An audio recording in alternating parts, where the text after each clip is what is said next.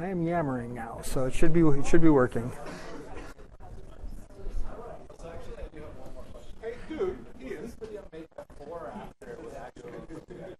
Uh, it was made before it was put together, based on the plans of how to put it together. We, in fact, did not do it exactly this way.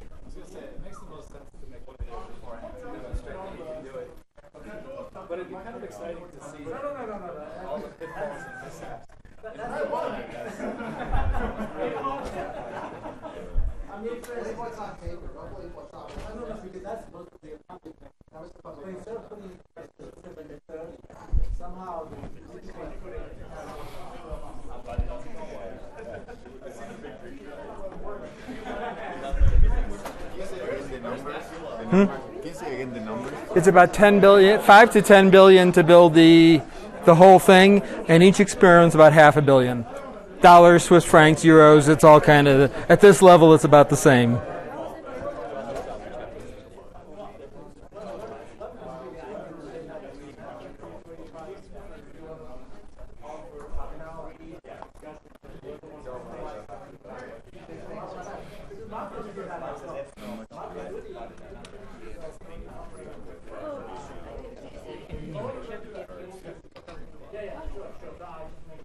You tell me. No, no, no.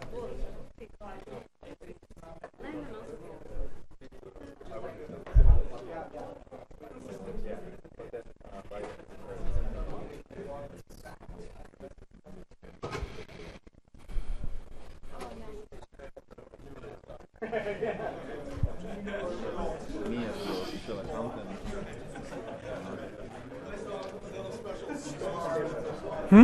These your paper? Those are the papers I'm going to go through. Well, these your paper? I had something to do with all of them. All right. There's no paper on Atlas I had nothing to do with. Oh, these are Atlas paper. Yes. This is what I thought you invited me to. Hey, Tom, how come we are not? what the hell is this? yeah, what the hell is this? You got what it is? That's my question. How come we're not there?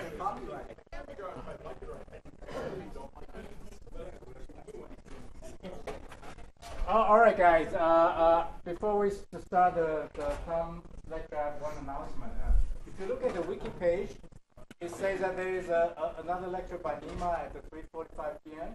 Not a lecture.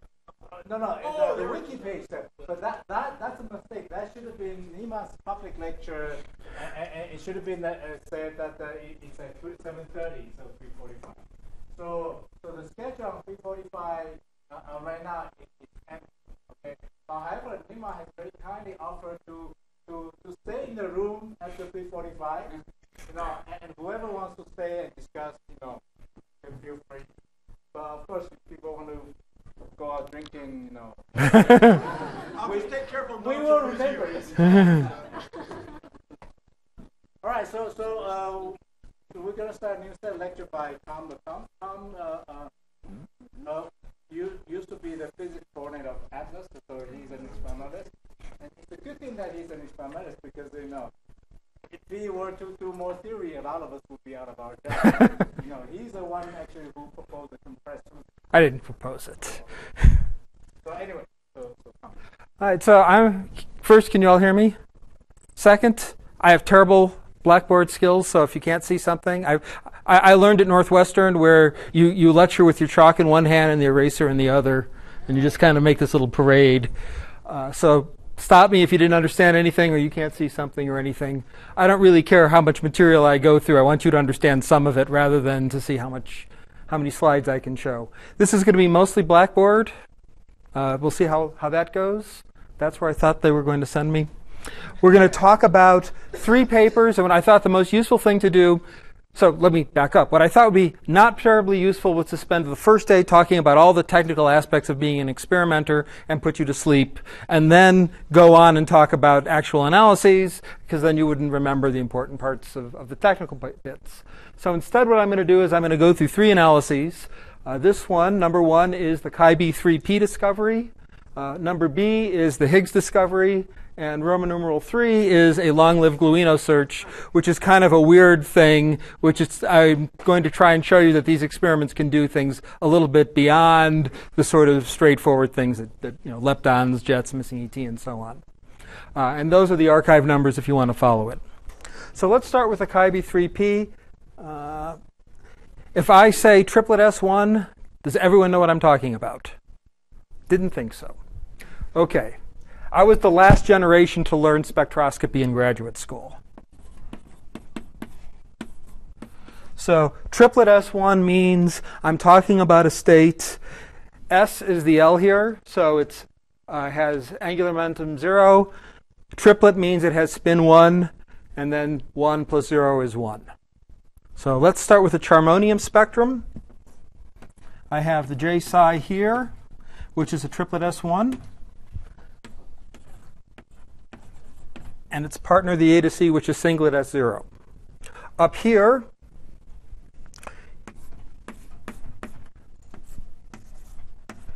there are radial excitations of these guys. And over here, we have three chi states triplet P, 0, 1, and 2. And these are all CC bar. So that got a Nobel Prize. The rest of this was sorting out the details. Okay, so that's what it looks like with charm. What's it going to look like with bottom? Almost exactly the same. Couple of differences. One is bottom is heavier, so it's bound deeper. It's moving slower. Also, these hyperfine splittings are going to be smaller because the mass of the B is different. I'm going to draw the hyperfine the same um, at the same level, but if I were really doing this for real life, you'd, you'd shrink it by a factor of three. So in the bottom, that's supposed to be an upsilon, not an eta.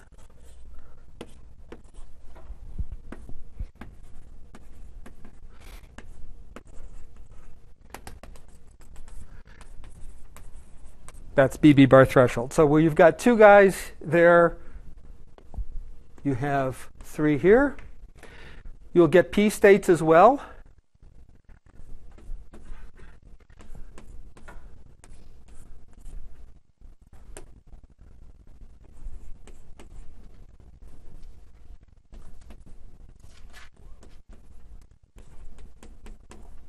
I'm running out of chalk. So I have these three P states, and they're called 1P, 2P, and what we discovered was the 3P. Okay, let's go back here. If I produce a chi state, what happens to it? It decays. What does it decay to? It does decay to pions. But it turns out that 10, 20% of the time, depending on which one, it'll make a radiative transition down. So it'll make a photon. This is an E1 transition for those of you who remember Jackson. It's actually it's an E1 transition even if you don't remember Jackson. right? So that's what happens here. There's also, by the way, there's a singlet P state that decays down to the uh, the singlet S, but we're not going to worry about that. So here, the same thing happens. But you can also have that. So, so basically, any P state can decay to an S state. That's the basic idea behind these. All right, I'm going to leave these up. All right, so say we wanted to go looking for one of these guys. What does my detector need to do? What, what I need to detect? I need to detect a photon, and I need to detect the J psi or the upsilon. Turns out these have branching fractions to two muons of 6% and 2% respectively. We like muons. Muons are good. They're easy to spot. So we need J psi, upsilon, essentially two muons.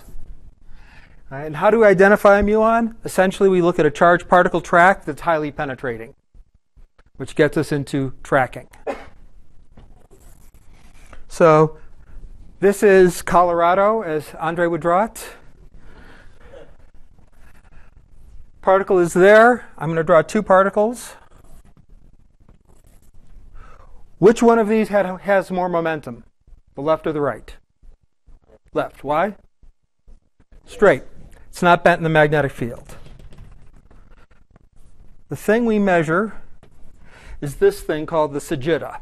It's Latin for arrow. Sagittarius, the archer, means arrow guy in Latin. And what you'll find is that this is equal to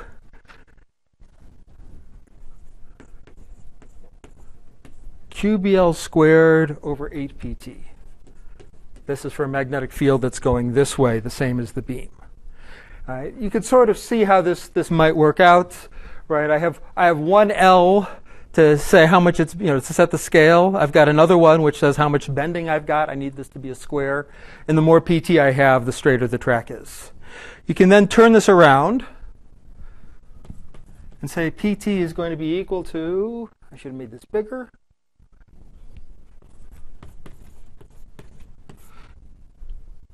Over 8s. So again, the smaller the sagitta, the more the PT of the track. So let's look at this for a second. I've got this BL squared term in here. All right, so what is that going to what is that telling me? That tells me all other things being equal, I would like to have more lever arm than I would have more magnetic field. Right? One way to look at this is one of those L's tells you how many measurements you have. The other L tells you how much it's bending. Right? That's sort of the way to remember which, which one gets the square. The other thing to take a look at the to take a look delta pt over pt goes as 1 over s, which is proportional to pt. So that means the uncertainty on the momentum of the track is proportional to the momentum of that track. Right? So that means as I go to higher and higher energies, tracking gets worse and worse. Right, and that's going to be important later when we talk about things like the Nimatron. When you go to 100 TeV, the, one of the experimental challenges is how you're going to deal with this. So this is how we're going to identify tracks and how we're going to measure them. This is a picture of a tracker in real life. This is the silicon detector. Uh, you can sort of see the size of it because they left their tools on the bench. So this is something which is, you know, a microwave oven or so, rough, roughly that, that big, maybe a little bit bigger. This is it going into the rest of the tracker. You can tell it's Europe because there's somebody talking on their cell phone. This is all Atlas. Uh, is this being recorded? This is all experiment A, a hypothetical LHC experiment that in many ways is better than experiment C, another hypothetical LHC experiment. So that's the whole detector. You can sort of see a person behind this. It's a, the whole inner detector is about the size of a Fiat 500. Okay, so turn that off for a second. So there's several different technologies that we can use for this. You sort of saw as it built up. In the inner region, we like to use silicon because silicon is very, very precise. Essentially what this is, by the way, when was the last time you guys had a lab, lab class? Like two years ago, three years ago? All of you hated it? is, is there anyone who, anyone who took it recently and loved it? Okay, I've got, I've, I've got my audience nailed here. Basically, a silicon detector is nothing more than a reverse bias diode. No, no, current is flowing through. A charged particle goes through and it screws that up by, by ionizing, right? So now current flows for a bit until it reestablishes itself. That's all we do. We stick, in Atlas, we have them all in the middle. CMS has them spread everywhere. Right? Also, uh, we use, on the outside, we use gas tubes filled with xenon. Particle goes through, ionizes it, and we drift it to a wire and measure it that way. The silicon we like because it is faster and it is more precise. It is also much more expensive. So you can't build the whole experiment out of silicon, at least not in the first go. All right. Pattern recognition, though, is a key to this. So, oh, I'm already running out of space. So let's say, let's forget the collider geometry and saying, I just want to determine where a line is. How many points do I need? I just drew them. Everyone should know that. How many points do I need to determine a line? Two. So if all I wanted to do was measure one line, how many detectors would I need? Two. The problem comes in, so I've got my line. Suppose I have two particles that I'm going through and I only have my two detectors. Now I don't know whether this is what happened or if that's what happened. Because all I see are these four hits. Right, so we call that pattern recognition.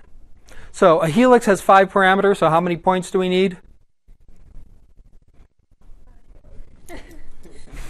See, you guys are right on top of it. You need, you need, you need five to come up with a helix. Well, look, position. How many numbers you need to define a position? Three. We're working in three. We're working in three plus one dimensions. right. The metric is trace two, not four. Two as God intended. So you have three to determine the position. How many do you need to determine the direction?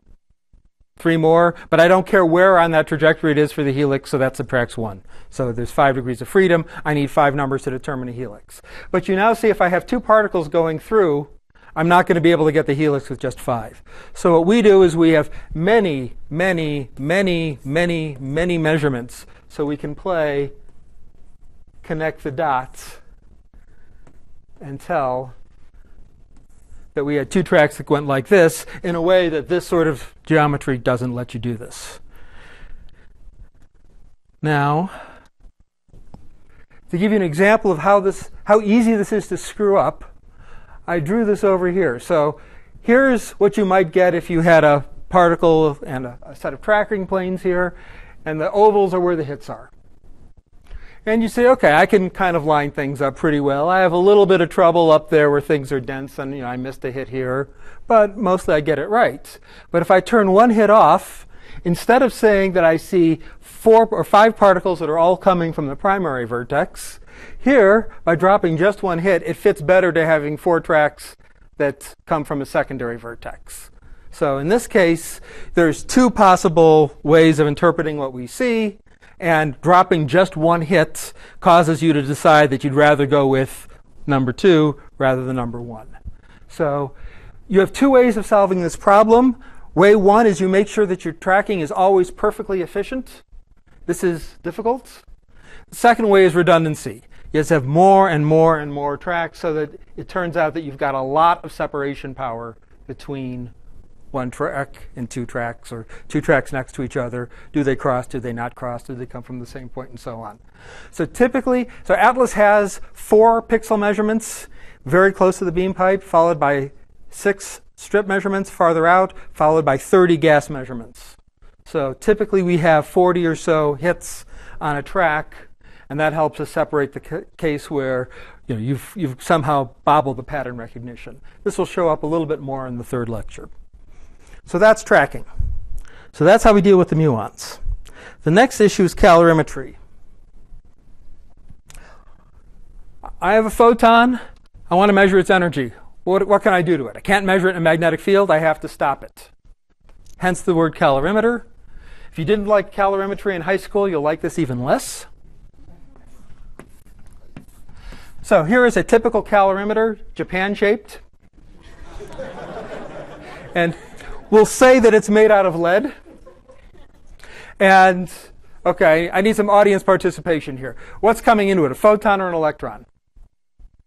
Photon. So, a photon goes through, hits a, hits a lead nucleus there, and it converts to an electron positron pair. Now, what, what does the electron do?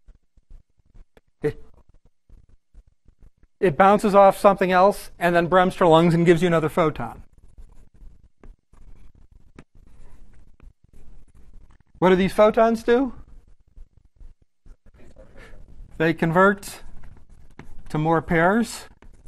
So eventually I have a shower in here. Now, all these little tiny electron tracks are ionizing. So if I could, let's pretend we're doing this as a real calorimeter. I stick a thermometer in that, and I can tell how much energy has gone through this by how much this block of lead is warmed up. We don't do this way. Why? Because it's stupid. But why is it stupid? Because it's slow and not very accurate because I'm trying to measure a very small amount of energy. So we have two ways of solving this problem. CMS says, well, let's make the lead transparent. If only we had transparent lead, our problem would be solved. Because if we had transparent lead, I would have Cherenkov radiation coming from the uh, from all these electrons, which are moving faster than the speed of light in the medium. The amount of Cherenkov radiation I get is proportional to the length of all of the tracks that I've produced, and the length of all of the tracks that I've produced is proportional to the energy that came in. And they also said, let's, let's go one better. Let's take a material that's not just transparent lead, but that scintillates when ionized by an electron or a positron. Now I'm making even more light, so I'm getting a better measurement of what's coming in there. So since I am essentially counting the, measuring the light, I'm counting the number of photons, right? So delta E over E is going to be proportional to delta N over N, which is proportional to N. I'm sorry, that's proportional to root N, which is proportional to root E. So, while tracking gets worse and worse, calorimetry gets better and better. So again, when you start thinking about the Nimatron, this is one of those things you need to keep in mind. So let me show you pictures of how these things look like in real life. So CMS uses lead tungstate, which is essentially transparent lead and tungsten. There's a little oxygen to hold the whole thing together.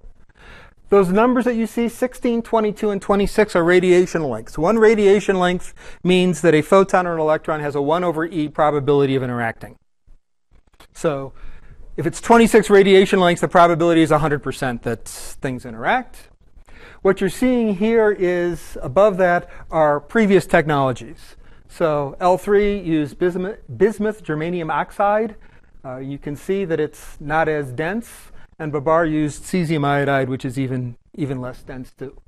So CMS said, we'd like to use these lead tungstate crystals, and they decided what they wanted to do was to get absolutely, oh, I'd rather point, okay, fine. See, if I have one of these in my hands, I, I, I have a tendency to spend too much time on the slides. Anyway, CMS decided to go this route because they thought that the most important, I'm sorry, experiment C thought that the most important thing is going to be energy resolution around the Higgs. So they designed their experiment to focus on that. And you can see you've got this delta E over E is proportional to, to root E. I have this wrong again.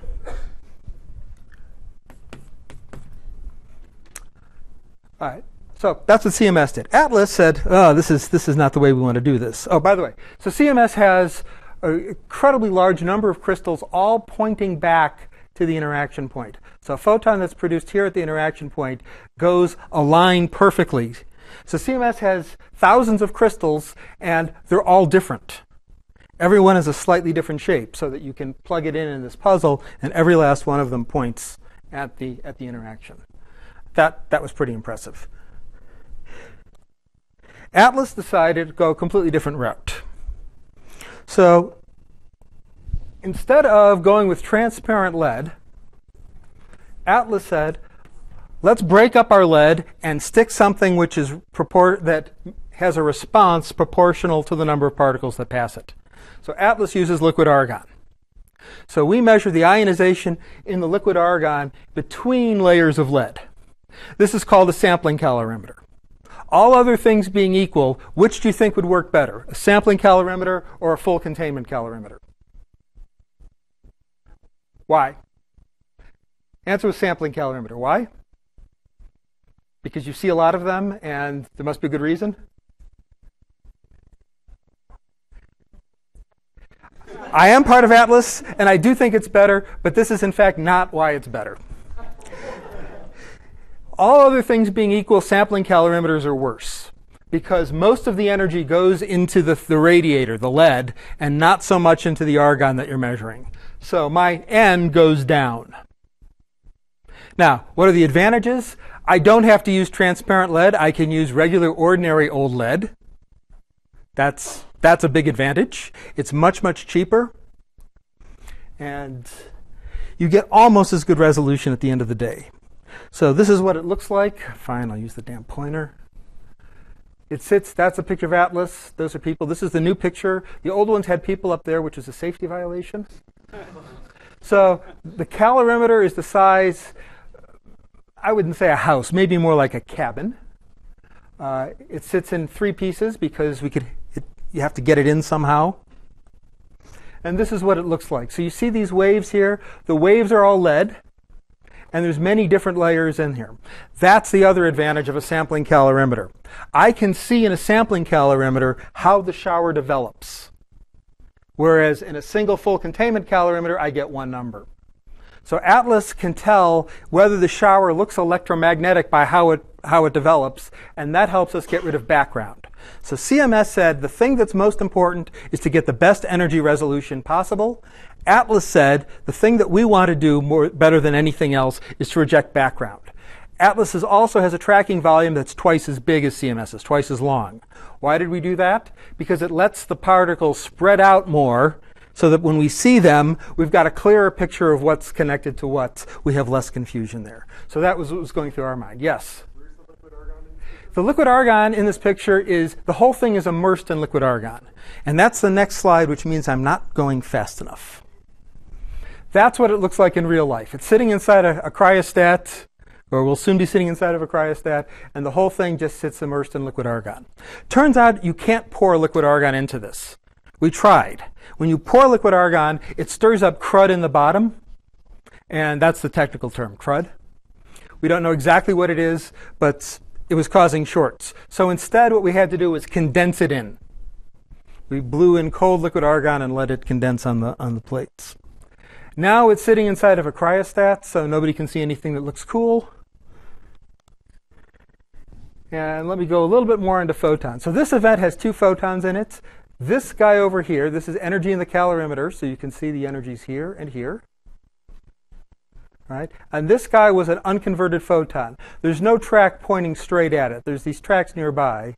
And if you look in, you can see the shower develop. You see the shower develop in layers, the innermost, the middle, and the outermost. That's sort of telling us how the shower is developing. If there was too much energy here or too much energy there, we'd think it was a hadron. So it looks like a photon. This is the case where you have a conversion. You can see a lot of energy by the stiff guy, not so much energy by the soft guy. And if this is a flat enough uh, slide, you can see that these have opposite curvatures. If the screen has a little bit of twist to it, you can't. So that's a conversion.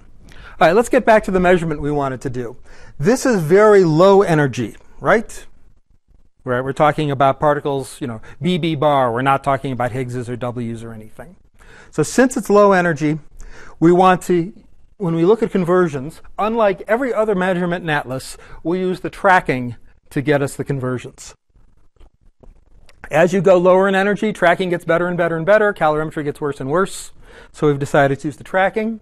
So we're essentially looking for one of two signatures. Two muons and a photon, or two muons and an electron-positron pair that came from a photon, like that guy over there. So at the end of the day, when you put them together, this is what you see. So this is, what you're looking at is the reconstructed parent mass. This case here is where you have the transition from the chi 1p to the 1s, that is the upsilon, the 2p to the 1s, and then this guy showed up as the surprise. So, some history. Let's just hope that no one actually looks at the recording. So, the story behind this was a professor gave its, uh, had his grad students say, let's look at the chi analysis and repeat it for the upsilon. And this will give you an opportunity to learn Atlas code. And when you've got two peaks, come back to me. And the grad student came back after a week and said, You said two peaks? How sure are you that there are two peaks? And that guy showed up right there. So this is with unconverted photons. The photon is just a plain old photon measured in the calorimeter. This is with converted photons, and you can see a couple of things. So first of all, you see three peaks in the same spot. So if you think you've got some sort of technological problem with your detector, well, this is using the calorimeter and this is using only the tracker. So how can a problem manifest itself at the same place in two different spots? Also, with the converted photons, we can look at the 3p to 2s transition. So that guy here to that guy there. This is much softer, but you can see if we look at the parent mass, you've also got a bump over there. So we see the same thing in three channels. So we were fairly sure this is real. Now I'm going to say bad things about statistics. Yes?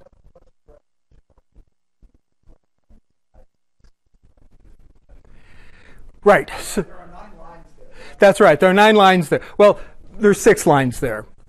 It turns out the 3p0 has a, a, negligible branching fraction into photons because it can decay straight to two gluons. So these things fall apart to five pions, or I'm sorry, it's CP even. They fall apart to four pions, and, and that's that.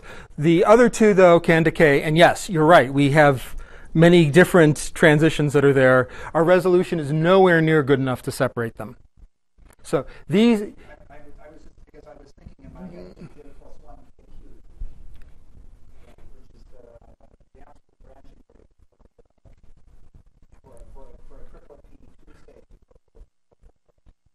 Right.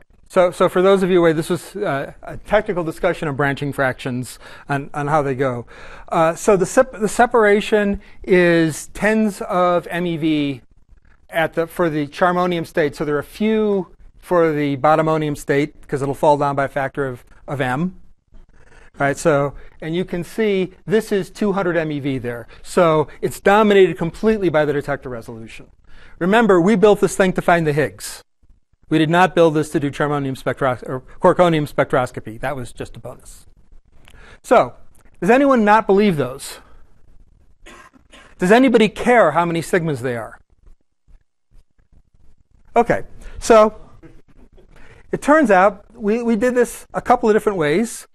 Uh, it goes anywhere between 7 and 14.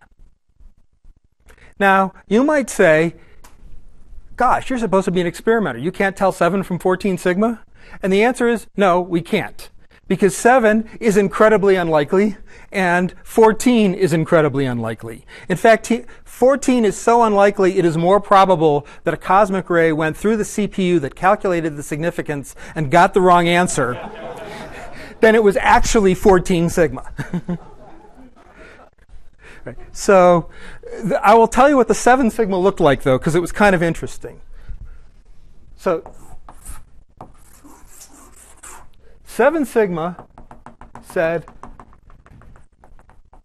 it was trying to fit it like that. Right? And the reason it went right through the peak. And the reason is it would be 14 sigma if, I, if it pushed this down to the true background. And that's so incredibly unlikely. It would rather have a 7 sigma downward dip and a 7 sigma upward dip than to actually have a 14 sigma dip. Anyway, what we wrote in PRL was 6 greater than 6 SIX sigma because we wanted them to know that this was just so incredibly improbable it was not a fluctuation. Could be a screw up, but it's not a fluctuation. And PRL said, no, no, no, PRL rules say you're not allowed to spell SIX. We even tried to sneak it back into the proofs, but they were onto us. but at some point, you get something which is so significant that it really doesn't make a whole lot of sense to start talking about whether this is 6 sigma or 7 sigma or 14 sigma or 11 sigma. If this is a mistake, it's because we did something wrong, not because the background happened to flo- float up in three channels. It was also surprising that we're making as many of these guys as we are. And nobody seems to really have a good idea why that is. So, those of you who are looking for another project, you might try and e- explain this. LHCb sees the same thing at a much lower rate. Another fact to explain. So that's the simplest of all possible analyses that we did and we published. Notice the word Monte Carlo never crossed my lips. What is Monte Carlo going to tell us? It would only be helpful if it could give us an absolute prediction of the backgrounds. Otherwise, we can just count it ourselves. And in fact, that's what we did. So, any questions before I move on to something else? Yes, Tom.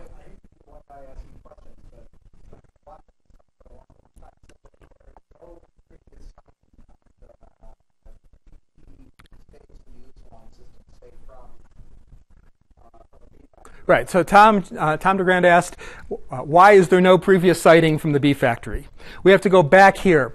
So the problem is, if you were to see this, B factories can produce things with quantum numbers the same as the photon, one minus minus.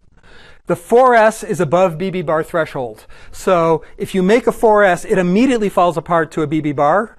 Mass of the B is 5280, same as feet in a mile. It would immediately fall apart to a BB bar and the odds of it making a radiative transition are essentially zero. So that's that's the problem there. So you have the same problem with the 5s. You have the, there's probably also a state here for the charmonium. You've got the exact same problem seeing it. If you want to have a radiative transition above it, it's just going to fall apart to a pair of d mesons. Uh, the statement is presumably we're making the p states directly. And the answer is presumably. We have no actual evidence one way or the other. This in the 11, 12 paper? This is, yeah, that paper, paper one. Uh, paper one was kind of fun. It was, uh, paper one, we also made the sort of a mistake that experimenters make all the time, but we almost sent it to the journal. So we do systematic checks, right, which is basically you change one's, and none of them had a big effect. Well, it turned out that that was the one that we sent to the journal. And the only reason, well, you've got two mo- almost identical plots. And the only reason we, we caught it was this guy here. And the grad student knew that in the regular, the one we sent had them reversed. And he knew the plot bin by bin well enough to realize that we didn't quite have the right one in the paper. Yes, Ian.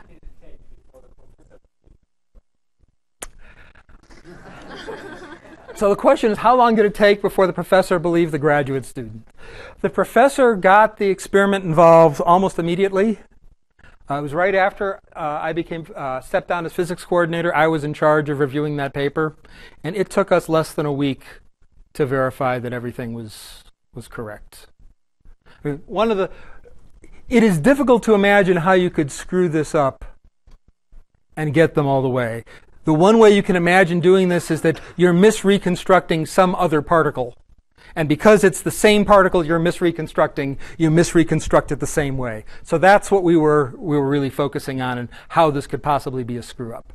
The other thing that we didn't put in the paper, but we checked ourselves, is that the yield, the relative yield of, of this and this matched. Because if I am producing a certain number of particles, that number is whatever it is, irrespective of how it decays and how, how, the decay then acts with the detector. So if we understood what was going on, those numbers should match, and in fact they did. So not only this one, but also these. I mean, the real question is, does this match any worse than the other two that you knew were there? All right, so we, we had an idea of, of what we had to do. Any more questions on this? Is that a question or? Yes. Okay, so we, we are at at a, at a, crossing point, as the famous Yogi Berra once said, when you come to a fork in the road, take it.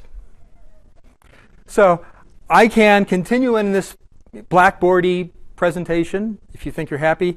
Also, as you might imagine, I've got like 10,000 Higgs discovery talks left over from 2012. I can go through one of those, which would all be slides. My personal preference is to stick with the blackboard, but if, if people are saying this isn't working for them, I'm happy to switch. So stay, go, Okay.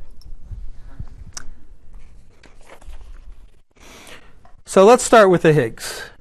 I'm not going to show you a single Mexican hat. I was the first person to make this plot. People like this plot, which shows what the Higgs decays into. But I think this plot is much more useful. As, as pointed out, most of the time the Higgs decays to BB bar, which is absolutely useless. Right. There's something on the order of 10,000 times as many BB bars produced from non-Higgs processes around the Higgs mass. So we'd have to sit there for a long time to see any sort of excess. CC bar is worse. Glue glue which is actually quite large. You know, it's like, you know, the LHC, I mean, it's a big box of gluons. None of these are very good. ZZ, WW, and two photons. ZZ and WW look pretty good now, but I haven't put branching fractions into it, right? What does the W do most of the time? Jets. What does the Z do most of the time? Jets.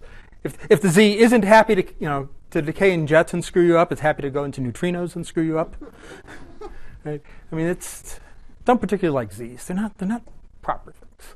Uh, two photon. It's uh, uh, two tenths of a percent, but it turns out that's actually the, the best channel that we've got. because everything else here, the other 99% is terrible. We're also very lucky because you could see the two photons maximizes roughly where we see it. If we wanted to, ha- you know, if the Higgs were sitting at 140 or 160, our job is going to be much harder with two photons. And the way to see this isn't so much that thinking about the two photons. The point is not what this little sliver is doing, it's what the competition is doing is that as the Higgs gets heavier, it's decaying more and more into WW star and ZZ star, and that's and eventually TT bar, and that's sucking the partial width out of the two photons. So that's why it's it's going that way. So we're going to design the analysis out of gamma gamma, ZZ star, and WW star. That's what we did. So let's go to the let's start with ZZ star. I talked to you about muons, and I said all we really need to do is to see for the chi analysis that a particle went through a pile of steel and hit something on the other end. Atlas has spent hundreds of millions of Swiss francs to build a more complicated detector because the complicated detectors are the good detectors. You see there's three stations here, and the whole thing is sitting inside toroidal magnets. So the coils are going in and out of the page, so the field goes this way or possibly that way. I'm, I'm 50% sure the field goes this way. Right? And that bends the particles front and back rather than in the solenoid, which bends them side by side. These are ginormous magnets. The energy stored in the magnet is about a gigajoule, 1.2 gigajoules there. That's about what the energy in a lightning bolt is. A megajoule is about a stick of dynamite. So we have a huge amount of stored energy here. We want to be very careful about putting energy in and taking energy out. And in fact, this coil, this coil, this coil, and this coil, four and across, there's eight coils there, can, are all powered together, as are its partners in the other x direction. And the reason for that is if we lose the current in a magnet, we don't want there to be a torque on it. Because if you put a gigajoule of stored energy and told it, please rotate this device, it would. right? And just as there's, you know, there's, there's angular momentum stored in a magnetic field, so it's perfectly happy to do this. So that's the design of the muon spectrometer. And here, again, we are measuring by tracking. So we're using the same technique we talked about here, only on a much, much larger scale. This is what it looks like in real life. These are the so called small wheels. There's a person for size. And those are the big wheels, which are larger than the small wheels. So the big wheels sit around here. So these things are not, are not small devices. CMS has a more sensible, I'm sorry, Experiment C has a more sensible way of doing things. They use the return field of their magnets to measure the muon momentum. So this is all iron. The magnetic field is a solenoid, so it's going into the board. And what happens is it goes into the board and then it returns to go out of the board because magnetic field lines neither begin nor end. So I have field going into the board here and out of the board here. If I have a muon, it will bend in one direction here and then it will bend in the other direction there. And if there's no energy loss, this angle is the same as that angle because I've rotated it to the left and then I've rotated it to the right. It's displaced, but the angle is the same. So you can tell how much energy loss you've had in there. And if you have a soft muon, a lot of energy loss makes some sense. Maybe it's real. If you have what you think is a very energetic muon that's undergone a lot of energy loss, that doesn't sound like it makes a whole lot of sense either. So there's four planes here. CMS was so happy with this design, they put it in their logo and you can see how muons behave. So the most energetic ones don't bend very much. The least energetic ones bend a lot and eventually range out, and intermediate ones do intermediate things. So that's what they built. Uh, let's. Are there any more questions about muons before I go on to calorimetry? So, I used to do muons for a living. The trick is not designing a muon system. The trick is designing a muon system that you can afford. Right. So you've got, you can see acres, literally acres of detector that you've got to put in there, and the real trick is to make this all, all work there. Atlas also has a problem, since we have a little time. How do you align these guys? So to measure, say, if you have a 1 TeV muon, you want to measure that to say 10%. That's, you know, any, if you want to look at it for a Z prime up, the, you know, a 2 TeV Z prime, it'll give you two 1, 1 TeV muons. You want something on the order of 10% resolution to, to tell that you've got that and not some other spot. That means you need something like 100 micron resolution on your Sagitta. All right, now, I told you this thing is 25 meters tall. What's the thermal expansion coefficient of everything? 10 to the minus 5. It's probably 1 in, in, in theory units. In, in Halliday and Resnick units, everything has a coefficient of thermal expansion around 10 to the minus 5. So that tells you you have to have better than 1 degree of tolerance along 5 meters, you know, basically a soccer stadium that's 5 stories tall, hold the whole thing to within about a degree. How do you do that? You don't. That's completely impossible. Nobody knows how to build a HVA system that's that good. So instead, you have to realize that the detector is continually expanding and contracting. So Atlas has to measure where everything is at all times. So periodically, we go through and we use lasers to see how much things have drifted, and then once in a while, we'll do an actual calibration run with the magnets off to make sure that we know where everything started with. There's another problem with magnet off calibration. When you turn the magnet on, everything moves. So you have to be able to go from measuring where things are to where you want things to be. Okay, so let's go back to hadron calorimeters. So I talked about calorimetry here in the way of thinking about for electromagnetic calorimeters. What happens if instead of having a photon or an electron go through, you can see an electron does the same thing. Suppose I put a proton in or a pion, what would happen? So someone said, stuff. Stuff happens, yes. if I put a pion through, what kind of stuff will happen? I've made a, I've got a detector made out of nuclei. What's going to happen when I throw a pion into one? I'll get more pions, right? I might break the nucleus up. I might have more pions come through. I might make a kaon or two just to make things interesting.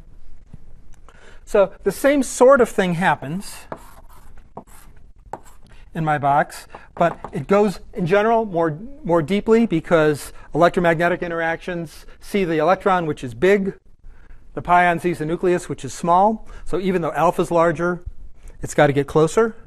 And you know, maybe I've knocked off a proton.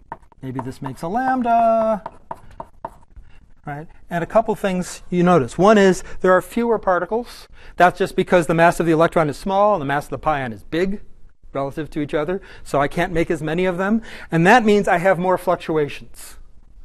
So I have the same basic principle that I'm going to ultimately look at ionization in, in a device, but I've got the problem of I've got smaller number of particles, I've got larger fluctuations. So you can think of EM showers as like McDonald's restaurants. Every one of them is the same. You've seen one, you've seen them all. Hadronic showers are more like snowflakes. Everyone is unique. We're all special. I love all of my hadronic showers equally. Those, those are the differences. So, what does CMS do? I'm sorry. Experiment C. What does experiment C do? They use scintillating tile-based sampling calorimeters. So like Atlas used with the EM, CMS uses for the hadronic. It's brass. You can't really see that here. Uh, but if you look at the, you know, that, that kind of brass color is because you're looking at the face there. Uh, Atlas uses seal, steel. Uh, we can talk about why they, they made that decision. CMS's calorimeter is quite thin. That's because it's sitting inside the magnetic field. Whiz fact, the cost of a magnet is, goes as the stored energy of that magnet. So if I double the size of the magnet, right, stored energy goes as b squared. Uh, so and keep the field the same. Uh, I double it. It's going to go eight times the stored energy. If I want to increase the field, CMS's field is stronger than Atlas's by a factor of two. That also goes up. So they want to have, since their calorimeter sits inside their magnet, they want to make it as small as possible because they don't want to spend any more for the magnet than they have to. So that's what CMS's looks like. Atlas, as I said, uses these tiles. This is all steel. Those are the scintillating tiles. So the steel is where the interaction takes place. The sampling is done in the uh, in these scintillator tiles. These are all mapped to a phototube in a very complicated way so that it's projective to the interaction point. So this is connected to that, which is connected to that, which is connected to that. There is not a single miscabling in the entire experiment. I'm, I was impressed by that. Then I found out that they cheated. So what they did is before they put the phototube on, they stuck a flashlight on the end of it, and you could see what lit up over there, and you could check to see if it was right or wrong. So they did, in fact, exactly the backwards thing, and, and it worked out perfectly. That's what one of these things looks like. I have, I have these on my desk. They're really kind of fun to stick out in the sunlight because it shifts the UV down to, to blue where you can see it. So it's kind of glow in the light rather than glow in the dark. So, but the basic idea here is exactly as it was in the calorimeter. The particle deposits energy here through ionization, which excites the scintillator, which gives you light. We then shift it down to these fibers and measure it in photomultiplier tubes. That's what it looks like in real life. You can see the decks there, so it's about the size of a nice, a, a quite nice house. I mean, my house would like be that, but you know, not quite a mansion, but you know, something that the neighbors would ooh and ah. So it's quite large. This is the EM calorimeter, which sits inside of it. The trick to the whole thing was getting that one in place.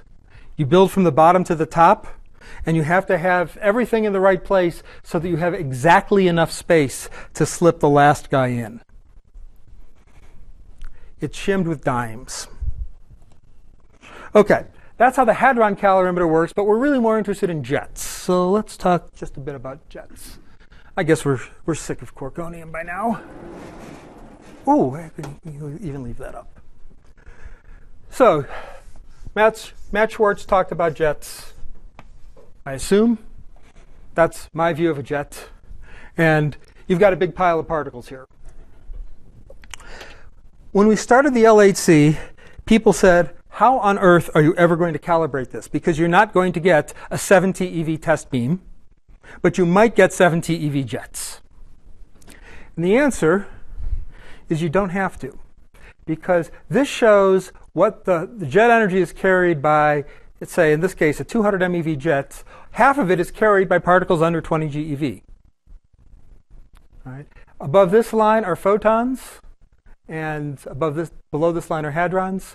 This is roughly uh, two thirds, one third. Anyone want to venture a guess why it's two thirds, one third?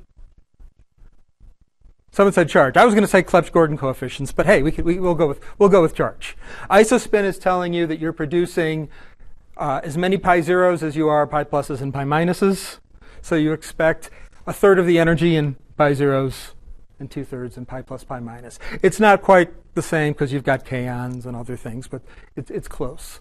So you can see that you only get to very energetic hadrons, and even very energetic is a few hundred GeV, way out here. All right, so you know, you, even at a TeV, it's only a couple of percent of the energy is carried that way. So it's relatively easy to bootstrap your way from a test beam measurement, which covers all the way down here, to getting that last little piece here. And the way you get that last little piece is by looking at jet balances. So suppose I have a TeV jet balanced against two 500 GeV jets. I know what the 500 GeV jets are because those are calibrated right? And if I see the one TeV that balances that systematically high or low, I know that I have some sort of problem in my calibration. Uh, let me also talk a little bit more about this calibration. I think I don't have a slide here. That's right. So, as I mentioned, the resolution is worse, and the resolution is worse for a couple of reasons. So, suppose it's, it's worse in general because I have fewer particles. But suppose I got lucky or unlucky. Suppose I got lucky and I had a bunch of pi zeros here. It just happened to be that I produced pi zeros when I hit the nucleus. what's going to happen? I'm going to have a lot of particles. I'm going to have good resolution. Right? And it's going to be at what we call the EM scale. It's going to look at exactly as it did if it were an electron. Suppose it's the other way. Suppose it's all pi pluses and pi minuses. Right? Now that's bad news. I'm not producing many, many tracks, and it's not at the EM scale. So this is what's called compensation. You would like, ideally, a detector that if I put in a 100 GeV pion or a 100 GeV electron, I got exactly the same response out. Because then I would be insensitive to how that jet interact fragmented and how that interacted with the calorimeter. People can build them. D0 built them. It is a big waste of time. The pri- it's very expensive. So if I want them to be the same, I have to increase the hadronic response. Right? If I have hydrogen, I have much more quarks per unit mass than if I have lead. Yes? No? Well, maybe much is two more. I have more quarks in per electron for hydrogen than I have for lead because I have one electron per proton, but I have piles of neutrons. So that means I want to go, if I want a compensating calorimeter, I want to go to a very low Z material, like paraffin. You'd like to build this entire calorimeter out of wax. This has problems. Remember, I said to save money on your magnet, you want to make it small? If you build it out of wax, it's not going to be very small. It's going to be enormous. Wax is not the best structural material in the world, uh, particularly if it gets warm. So most experiments, and both LHC experiments said, we're going to bite the bullet and figure out the compensation offline. And you can do that offline because, for example, if I can see the depth development, I have an idea of do I have a large number of particles or a small number of particles. If the energy is located in one spot, I probably had a bunch of pi zeros there and they stopped in that range. If it's spread out all over the detector, it's probably mostly pi pluses and pi minuses. So we can, the experiments start from this and they can work out what the jet resolution is fairly accurately. And we've made some design compromises to build the detector, but at the end of the day, we, we have the detector. So let's talk a little bit about the experiment's design. I'll have you out of here by 3.15, don't worry. So CMS, as I said, it's a, a compact design, and by compact I mean you can actually see the stick people there. Uh, like everything else, it's tracking, calorimetry, and muons. This sits inside their magnet, and the return field is there. So in this case, the solenoid has field in this direction, loops back here. Atlas is flapping in the breeze. Got we, we call it air, tor- uh, air core toroids because there's air in this gap. Uh, cabled core toroids might be a better description of what's there because it's really filled with, with cables taking signal out, tracking, calorimetry, and then muons. So let's talk a little bit about which is the better experiment.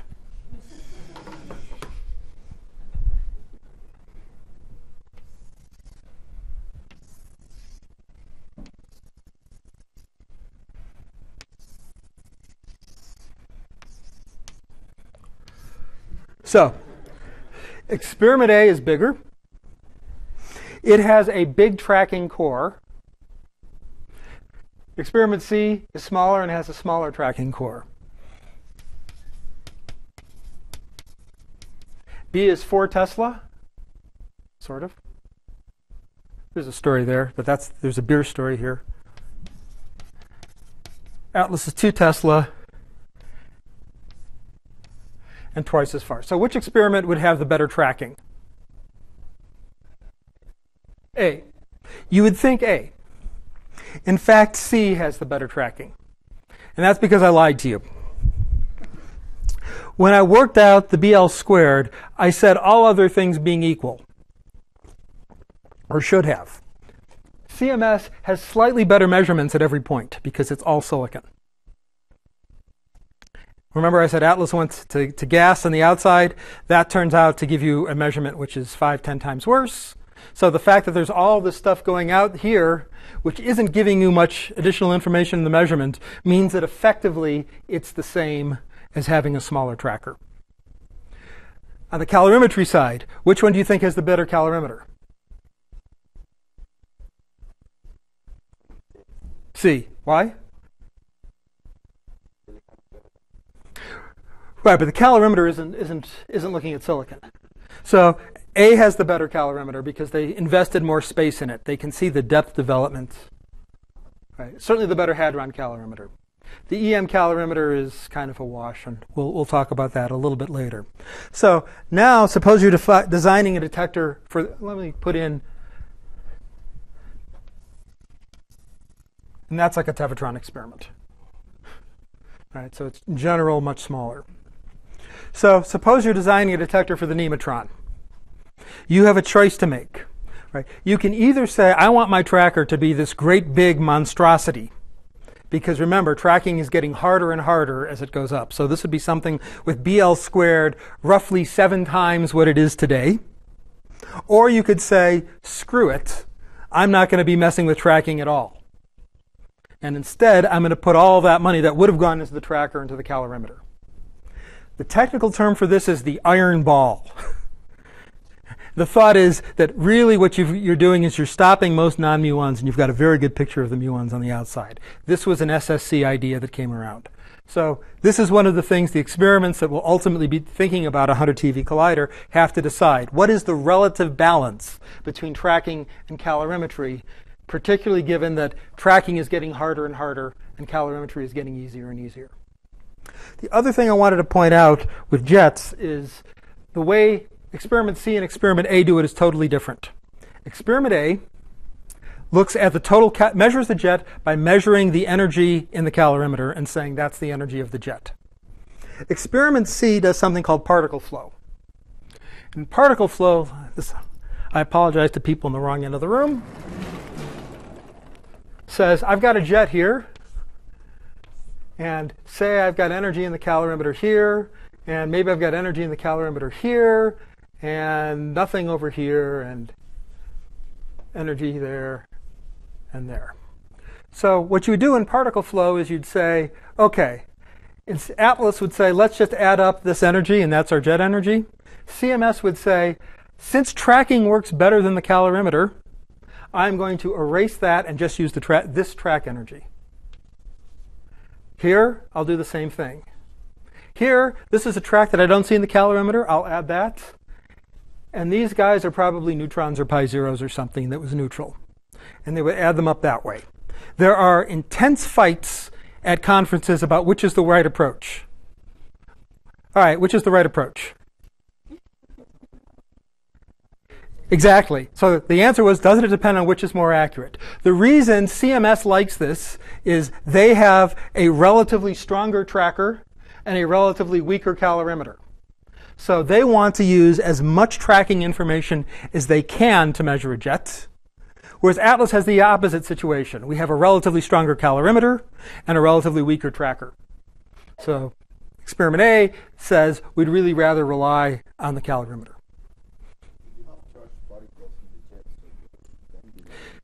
So the statement is there are charged particles in the jets and you're bending them. And the answer is yes, you are. That is an issue. Uh, it's not it's more of an issue from CMS because they have a stronger field. But it turns out it's not that much of an issue because how big is a jet? Typically, the radius is some number like 0.4. And you have to be, you know, of only a few GeV, and you're always bending inside that 0.4 cone. So there is energy that is swept out of a jet. There's also energy swept into a jet. Right? Both of these things happen. But it tends not to be a lot of energy, and particularly when you're looking at jets at 100 or 200 or 300, it's a few percent that's leaking in or leaking out. That's not the bigger problem. The bigger problem is just that the detectors themselves have certain weaknesses. You know, what we really want is to devise a detector that measures the quark energy that produced all of this, right? And that, and we don't have that. So the question is, do these cause differences in MET smearing, which means that it's time for me to talk about MET. I must go faster. So this is missing transverse energy. So this is a, I guess this is a D0. Yeah, it's D0. Uh, so that's a D0 event display of a W. Uh, I picked that because it's nice and clean. If you look at an LHC one, it's, it's just filled with stuff. And what you have is an electron over here and nothing on the other side of it. So this is called missing ET, sometimes called ET miss, sometimes called MET, and it means that one or more missing things went through it. Most people think, ah, that means I've, I've seen a neutrino. But I don't actually know that I've seen a neutrino. There might be three neutrinos out there. There might be two, there might be four. This is an issue when you start doing supersymmetry searches because you might have two LSPs going out. So this is something you have to understand. So the other thing I wanted to show you is something called a Lego plot. This is just a 2D histogram of measured energy. So in this case, this is from UA1. That is an electron. This is a Nobel Prize winning plot. This is one of the first W's that's seen. And you can see all that energy in a tower. In this plot, a jet is something fuzzier. So that's what missing ET is. So your question is, does this depend on missing ET resolution? Or does missing ET resolution depend on this? The answer is yes, and it's maybe worth thinking about resolution. Right. Is there anything better than resolution? You know, you can't be thin enough or rich enough or have enough money. Can you, you know, what about resolution?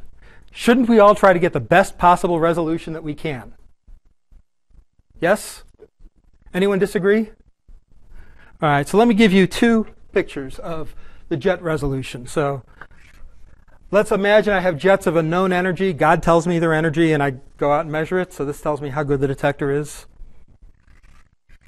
Which would you rather have? That?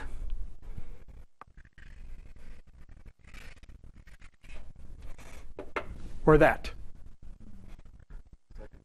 The second one? The second one is narrower, but it's also got a tail.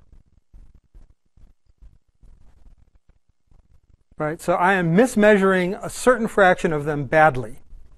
And if that isn't scary enough, suppose the tail goes in the other direction. Now, when I'm looking for unusual events, events with a lot of energy, or a lot, right, I now know that some fraction of the time, when I thought I had a TeV jet, I only had a 200 GeV jet that somehow faked a TeV jet. So, resolution is not everything.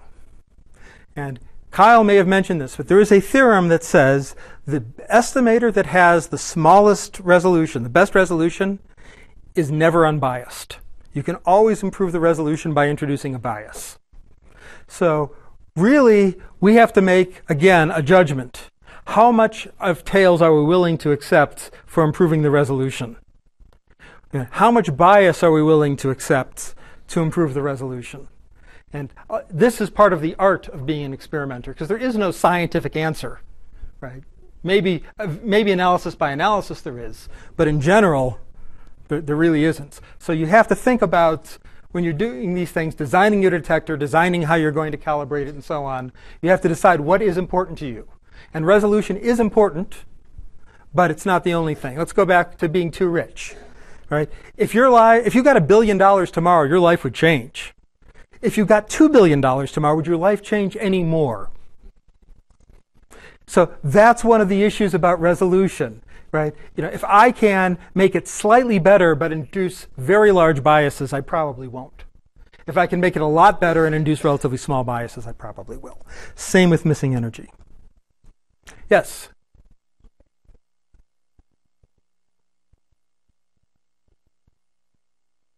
Oh, oh why, why do these have weird tails? Because basically what I'm doing, I think, I think this is a good spot to stop and just take questions for the last five minutes. So the tails come because I'm adding cells with various weights. And those weights are not a function of anything. It's something that we've put together as a as our best guess of how to go from many different measurements to this single value and fluctuations within the various categories that I'm weighting are then added more or less depending on those weights. So those weights are what's putting in these possible tails. Does that make any sense at all, or am I just babbling? I am prone to babbling. Yes? No?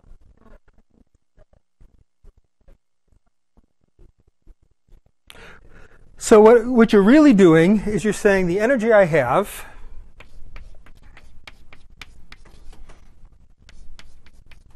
is the sum of the measured energies in various parts of the detector with some weight. right? And these weights are invented by people. Right. So various fluctuations in how the energy is distributed among the various things that I can measure will be will interact differently with those weights invented by people. So if you ask where does this nonlinearity come in? It comes in from our brains. It's, we've put this in to try and get the best compromise between energy resolution and not claiming discovery when there's nothing there, because that would be embarrassing. Well, some people find that embarrassing. Some people find that more embarrassing than others.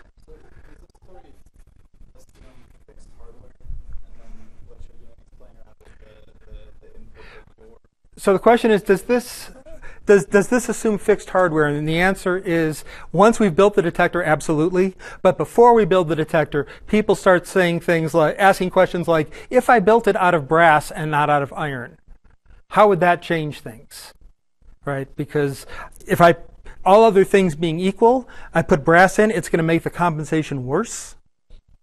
But it's going to make the experiment denser, so I might be able to make another layer of measurements out of it, for example. So these are the sorts of things you might think about. You could also think, you know, if I put something denser in, I might be able to put an extra, you know, I could put in thicker scintillator rather than thinner scintillator because I've got the same number of nuclei ahead of it. So the reason that people, uh, CMS used brass is brass has a density of about 9 and iron has a density of about 7.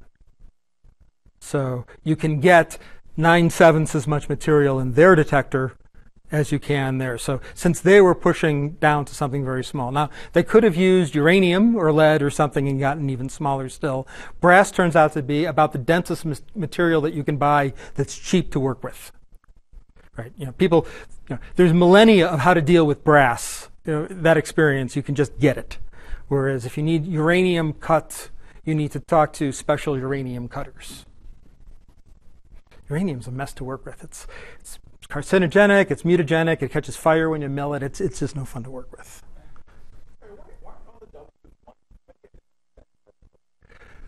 So So why is the energy the sum of the energies? So, so if I have a predominantly hadronic shower, because of this compensation effect, I'm actually underestimating the energy. So I want to add that up. If I look at the depth development of the shower, right? So that, that's, re- that's another reason. But the best reason of all is that I say we're measuring energy, but I'm lying to you again. What I really mean here are ADC counts right? There's some piece of electronics over here which is giving me a number which I might claim is GeV or something, but actually is just what some meter, meter somewhere is reading. So I have to, th- there will always be some W's to get from that to energy. And, you know, once you, you know, once you're down that path, you know, we've already established that. We're now just discussing the price. You, we've set up how this whole thing is, is working and we're kind of stuck with that machinery. Any more questions? I'm, supposed, I'm sorry, I'm supposed to be positive. That was a good question. yes, I, at work they made me take one of these psychology profiles and it said I was not a people person. I, have, I, have no, I have no problems with people. It's idiots I can't work with. Any other questions? Okay, so Here's where we're going to be tomorrow. So I've now explained how all of the pieces work to get Higgs discovery. So tomorrow I will walk you through the Higgs discovery. We will probably finish a little early on the third day, so think about things you might want me to talk about, and we can talk about that tomorrow, and I can stick something in. I'm sorry, you have to go to the fiction department. They're, they're down the hall. okay, thank you.